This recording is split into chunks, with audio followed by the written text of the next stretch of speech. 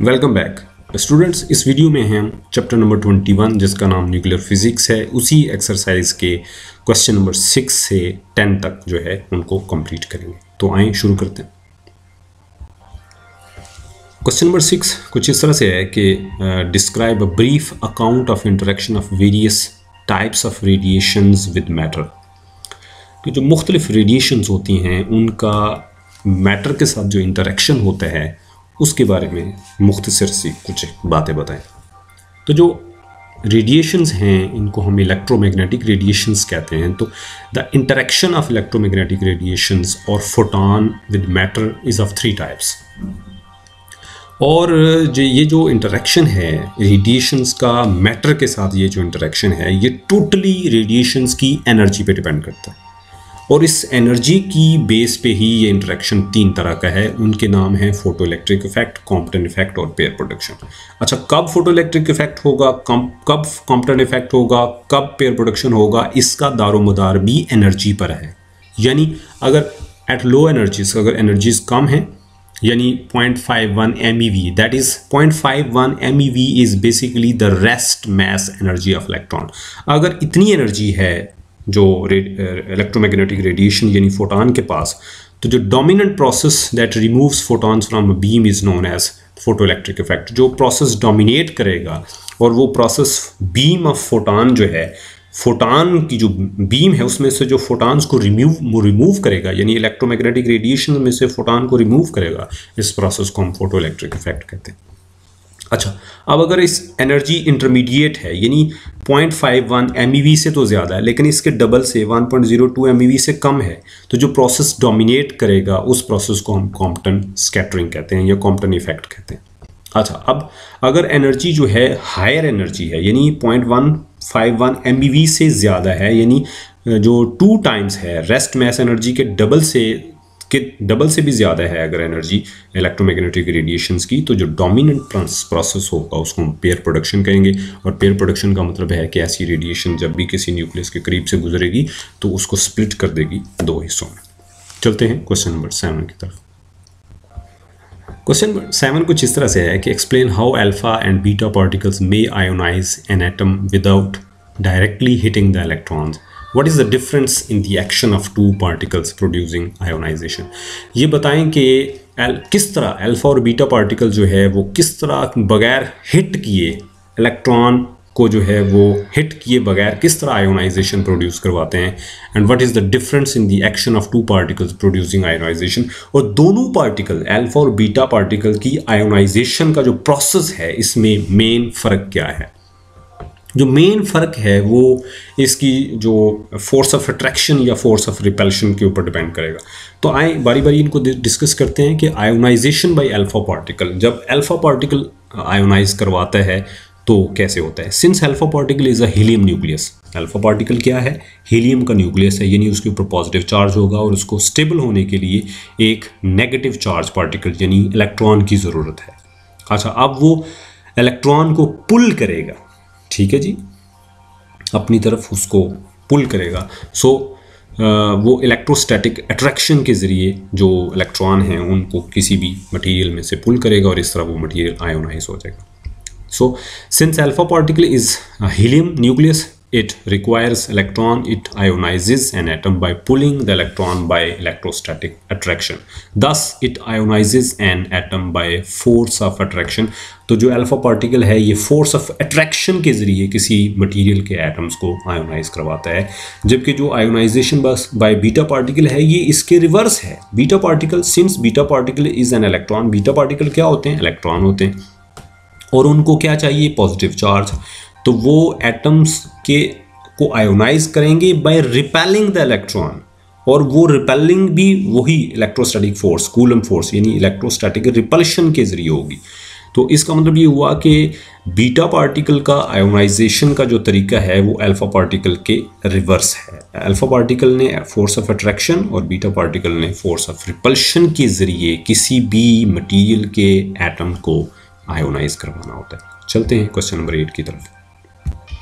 Question number eight कुछ इस तरह से है कि particle which produce more ionization is less penetrating why एक पार्टिकल जो ज़्यादा आयोनाइजेशन पैदा करता है, उसकी पेनिट्रेशन कम होती है क्यों? उसकी क्या वजह है? तो भाई, जो पार्टिकल ज़्यादा आयोनाइजेशन प्रोड्यूस करता है, इसका मतलब है कि वो हैवी है तो डेफिनेटली उसकी जो रेंज है वो कम होगी। इसकी मिसाल के लिए हम अल्फ़ा पार्टिकल ले लेते हैं। अल्फ़ा पार्टिकल जो कि बेसिकली हीलियम न्यूक्लियाई होता है, वो हैवी होता है as compare to beta particle जो कि इलेक्ट्रॉन होते हैं। अच्छा अब हीलियम न्यूक्लियाई जो हैं, इनकी जो आयोनाइजेशन एबिलिटी है, वो और ज़्यादा है लेकिन उनकी रेंज कम है as compare to beta particle ये वजह है कि जो और इसकी वजह ये है कि अल्फ़ा पार्टिकल जो है वो स्ट्रेट पाथ पे मूव करते हैं जब भी किसी मीडियम में एंटर होते हैं और अपनी सारी की सारी एनर्जी एक दो कोलिजन में ही वो जो मीडियम के पार्टिकल हैं उनको ट्रांसफ़र कर देते हैं और इस तरह उनकी रेंज बहुत कम होती है.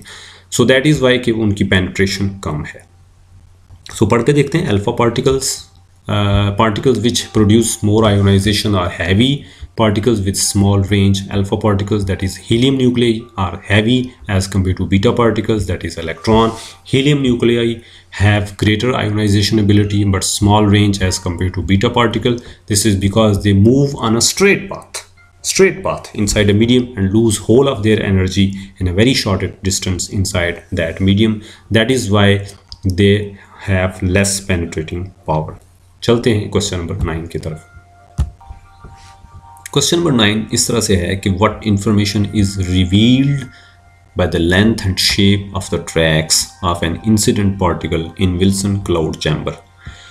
Wilson cloud chamber के अंदर बनने वाले जो ट्रैक्स हैं, उनकी लेंथ और शेप से आपको इंसिडेंट पार्टिकल के बारे में क्या इंफॉर्मेशन मिलती है जो विल्सन क्लाउड चैम्बर के अंदर जो पार्टिकल जब एंटर होते हैं, जब वो इंटरेक्शन होता है पार्टिकल का विल्सन क्लाउड चैम्बर के अंदर मौजूद जो गैसेस हैं उनके साथ तो इस तरह के ट्रैक्स बनते हैं एक, दो और तीन। अच्छा अब पहला पहला केस ये है कि अगर the the tracks are thick straight and continuous then अगर जो ट्रैक बन रहे हैं, वो थिक हैं स्ट्रेट हैं कॉन्टीन्यूस हैं, इस तरह के थिक हैं स्ट्रेट हैं और कॉन्टीन्यूस हैं। तो इसका मतलब ये है कि इंसिडेंट पार्टिकल इज़ मैसिव कि इंसिडेंट पार्टिकल जो है, वो मैसिव है और मैसिव होने का मतलब है कि अल्फ़ा पार्टिकल और अल्फ़ा पार्टिकल का मतलब है कि हीलियम न्यूक्लियाई अच्छा अब जब हीलियम न्यूक्लियाई की बात हुई है तो इसका मतलब है कि वो ज़्यादा आयोनाइजिंग होगा। इट इज़ मोर आयोनाइजिंग उसकी आयोनाइजेशन एबिलिटी तो ज़्यादा है, लेकिन उसकी जो लेंथ है रेंज है, वो कम है। अच्छा अब दूसरी बात ये है, ये भी जो है विल्सन क्लाउड चैम्बर से ही लिया गया रिज़ल्ट है। ये वाले जो ट्रैक्स हैं, इनके बारे में the thin and discontinuous track in erratic manner shows that अगर थिन हैं डिसकंटिन्यूस हैं एरेटिक हैं तो इनसे क्या पता चलता है? इनसे पता ये चलता है कि जो इंसिडेंट पार्टिकल है, वो स्मॉलर इन मैस वो मैस में बहुत कम है और मैस में कम होने का मतलब है कि इलेक्ट्रॉन है। अच्छा जब इलेक्ट्रॉन है, यानी बीटा पार्टिकल है तो उसकी आयोनाइजिंग एबिलिटी तो कम होगी, लेकिन पेनिट्रेशन पावर यानी रेंज ज़्यादा होगी। और तीसरे नंबर पे, अगर जो ट्रैक्स बनते हैं, उनकी कोई डेफिनेट शेप नहीं है, और उनकी लेंथ भी बहुत छोटी छोटी है, जैसे ये यहाँ पे हमने दिखाया गया तो इसका मतलब है कि ये गैमा रेज हैं।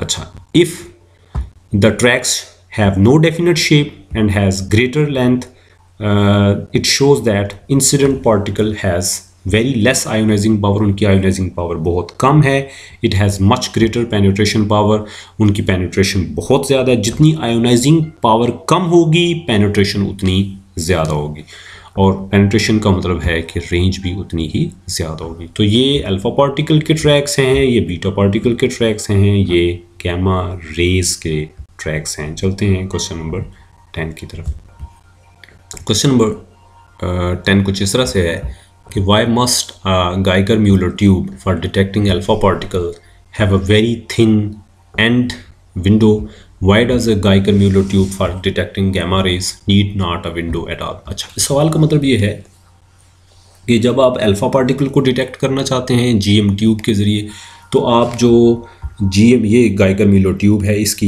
ये वाली साइड जो है, ये थिन माइका विंडो है। तो इसमें आप अल्फ़ा पार्टिकल के लिए बहुत थिक एंड विंडो लगाते हैं और जब आप गैमा पार्ट घेर रेस गैमा रेस को जब आप डिटेक्ट करना चाहते हैं तो आप किसी भी किस्म की कोई जो विंडो है, वो नहीं लगाते। इसकी क्या वजह है? अच्छा पहले अल्फ़ा पार्टिकल की बात कर लेते हैं। For alpha particles. Since alpha particles are massive, therefore their penetration power is very small. That's why a very thin window is kept in GM tube so that alpha particles could penetrate into the tube easily. क्योंकि alpha particle बहुत massive होते हैं और massive होने का मतलब है कि उनकी जो पेनिट्रेशन पावर है वो बहुत कम होगी और पेनिट्रेशन पावर अगर कम है तो फिर इस वजह से ये वाली जो माइका विंडो है हम अल्फ़ा पार्टिकल के केस में बहुत थिन रखेंगे ताकि अल्फ़ा पार्टिकल जो है वो इजीली उस ट्यूब के अंदर पेनिट्रेट कर सके और अंदर जो गैस है उसके साथ इंटरेक्शन इंटरेक्शन कर सके ताकि हम उसका बिहेवियर चेक कर सकें।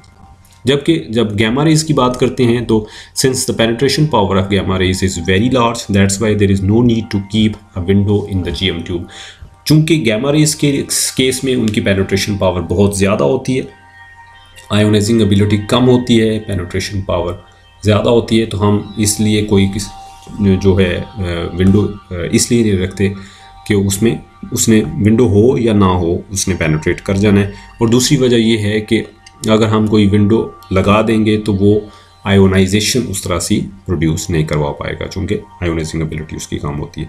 तो ये एक जीएम ट्यूब है, जिसमें इस तरफ़ दो इलेक्ट्रोड्स होते हैं, जिनके ऊपर हम तकरीबन 400 वोल्ट का जो है, वो पोटेंशियल देते हैं। इसके अंदर गैस है ये दरमियान वाली जो जो वायर है सेंट्रल वायर ये एनोड है और ये जो ब्लू लाइंस आपको नज़र आ रही हैं, ये बेसिकली चारों तरफ़ हैं, ये कैथोड है और इसके अंदर ये जो ब्लू एंड रेड जो डॉट्स नज़र आ रहे हैं बेसिकली ये this is a mixture of two different gases तो चलते हैं क्वेश्चन नंबर एलेवन की तरफ़.